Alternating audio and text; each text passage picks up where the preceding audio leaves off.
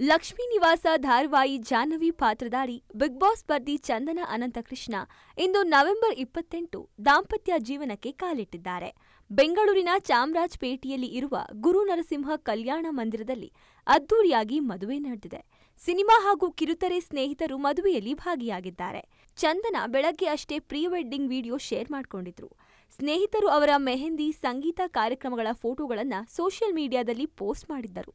ಈ ಆಚರಣೆಯಲ್ಲಿ ಕಿರುತೆರೆ ನಟ ನಟಿಯರು ಭಾಗಿಯಾಗಿದ್ದರು. ಚಂದನ ಅನಂತಕೃಷ್ಣ ಅವರು ಬಿಕಾಂ ಓದಿದ್ದಾರೆ. ರಾಜಾರಾಣಿ ಮುದ್ದುಮಣಿಗಳು ಸೀರಿಯಲ್ಗಳಲ್ಲಿ ನಟಿಸಿದ್ದಾರೆ.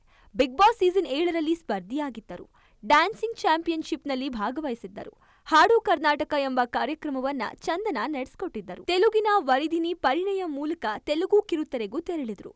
ಸೋಷಿಯಲ್ ಮೀಡಿಯಾದಲ್ಲಿ ಬಹಳಷ್ಟು ಆಕ್ಟಿವ್ ಇರುವ ಈಕೆ ತನ್ನ ಇನ್ಸ್ಟಾಗ್ರಾಂನಲ್ಲಿ ಡ್ಯಾನ್ಸ್, ಸಂಗೀತ ಸೇರಿದಂತೆ ಬೇರೆ ಬೇರೆ ವಿಚಾರಗಳನ್ನು ಶೇರ್ ಮಾಡಿಕೊಳ್ತಿರ್ತಾರೆ. ಇನ್ನು ಚಂದನ ಅವರು ಅದ್ಭುತವಾಗಿ ಹಾಡುತ್ತಾರೆ.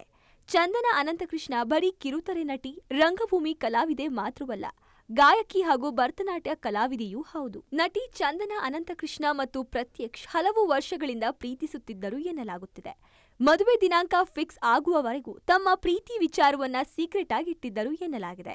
ಮದುವೆಯಲ್ಲಿ ಚಂದನ ಎರಡು ಸೀರೆಯನ್ನ ಧರಿಸಿದ್ದಾರೆ. ಆರಂಭದಲ್ಲಿ ಹಳದಿ ಬಣ್ಣದ ರೇಷ್ಮೆ ಸೀರೆ ಧರಿಸಿದ್ದಾರೆ.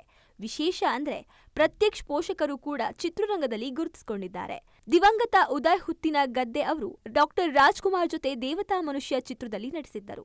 ಅವರ ಪತ್ನಿ ಲಲಿತಾಂಜಲಿ ಉದಯ್ ಕೂಡ ಹಿರಿತೆರೆ ಕಿರುತೆರೆಯಲ್ಲಿ ಸಕ್ರಿಯರಾಗಿದ್ದಾರೆ. ಈ ಸೀರಿಯಲ್ಗೂ ಮುನ್ನ ಭರ್ಜರಿ ಬ್ಯಾಚುಲರ್ ಶೋನಲ್ಲೂ ಚಂದನ ಕಾಣಿಸಿಕೊಂಡಿದ್ದು, ಅರ್ಧಕ್ಕೆ ಹಿಂದೆ ಸರಿದಿದ್ದರು. ಬಿಗ್ ಬಾಸ್ ಮನೆಯೊಳಗೆ ಹೋಗಿ ಬಂದ್ಮೇಲೆ ಬಿಗ್ ಬಾಸ್ ಕನ್ನಡ ಹೇಳು ಹಾಗೂ ಭರ್ಜರಿ ಬ್ಯಾಚುಲರ್ಸ್ ಕಾರ್ಯಕ್ರಮದಲ್ಲಿ ನಟಿ ಚಂದನ Ananthakrishna ಸ್ಪರ್ಧಿಸಿದ್ದರು. Hoomale ಸೀರಿಯಲ್ನಲ್ಲಿ ಕಾಣಿಸಿಕೊಂಡಿದ್ದರು.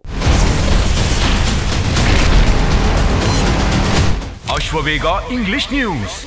Coming soon. Your channel, your voice, your trust.